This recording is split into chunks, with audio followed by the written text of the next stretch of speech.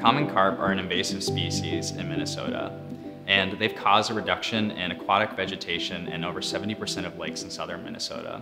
So we're hoping to control them because they act as ecological engineers and they actually reduce the ability of uh, native species to be able to thrive in Minnesota lakes. Despite the name common carp, this isn't something we want commonly found here in the state. It's in hundreds of lakes, unfortunately, right now, but it causes huge problems.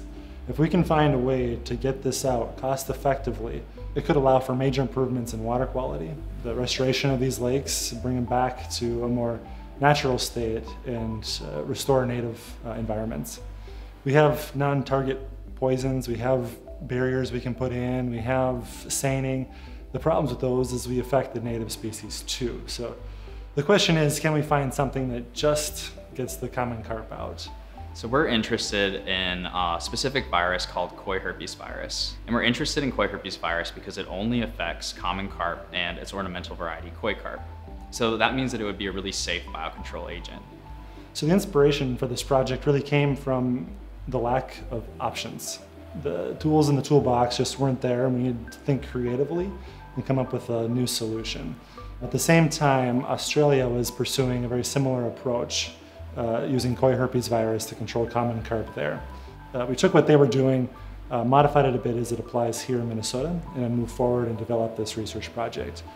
We're trying to answer every um, possible question up front so we don't get surprised along the way. A lot of what I do is actually just going out and collecting fish uh, to take out specific organs that may have a high titer of viruses, and then looking at those in the lab to see if the viruses are there.